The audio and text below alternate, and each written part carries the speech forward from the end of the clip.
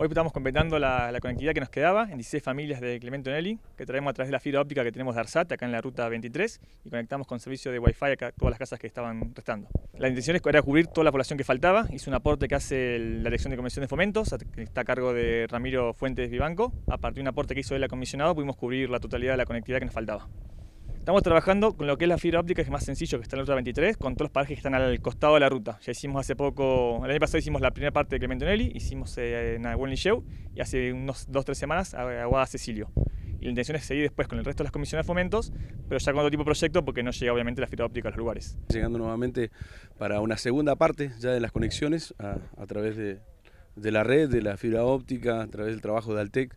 En una primera instancia el año pasado hicimos 20 conexiones, en su comienzo lo hicimos priorizando a aquellos chicos que estaban estudiando, con todo lo que nos pasó con la pandemia, y después nos quedaba el otro sector del pueblo, que también ya es un poco de gente mayor, pero también hace uso de, internet y por un montón de cosas, así que bueno, ahora estamos en esa etapa, eh, con 15 conexiones para el día de hoy, y ya quedaría, digamos, casi el 100% del pueblo con, conexión de internet, así que bien, bárbaro, porque fue lo que fuimos arreglando con la gente de Alte, con Juan, que, que siempre nos estuvo visitando, estuvo llegando en la primera instancia y hoy también, así que cumpliendo con, la gente, aquellos que le habíamos comentado que ya este año, a principio de año, eh, estábamos llegando con la conexión, así que bien, hoy, hoy completando las 15 que estaban faltando. Porque dentro de todo hemos venido sumando, como lo comentábamos en aquella primera ocasión, nosotros arrancamos en Clemente Onelli, en aquella vieja propaganda, recordarán el, el Lola Vieja, que era un solo teléfono público que había en el medio del pueblo,